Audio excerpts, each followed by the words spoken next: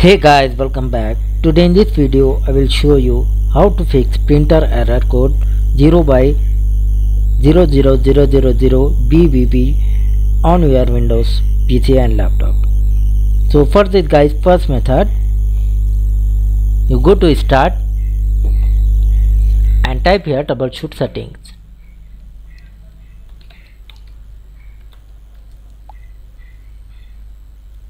Select this troubleshoot settings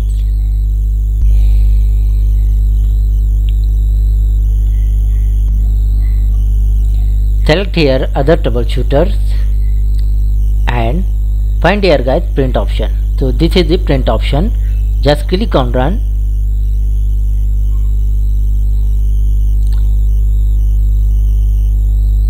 And wait here for complete this process after this guys you restart your computer. Hopefully it will fix your problem.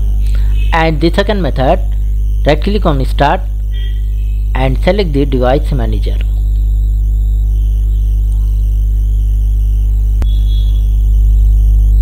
Find here guys print queues. Open this print queues and update the all drivers. Like this right click here and select the update driver select the browse computer for drivers and select the let me pick from a list of available drivers on my computer. So finally select the driver and click on next. Same here guys update the all drivers one by one. After guys you must ensure to restart your computer and track. Hopefully guys this time it will fix your problem. And the third method once again go to start and type here services select the services app. So find here guys print spooler print spooler double click on this service.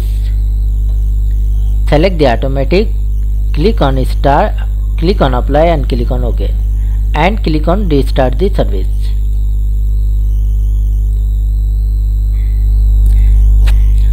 after this guys you close this and once again restart your computer.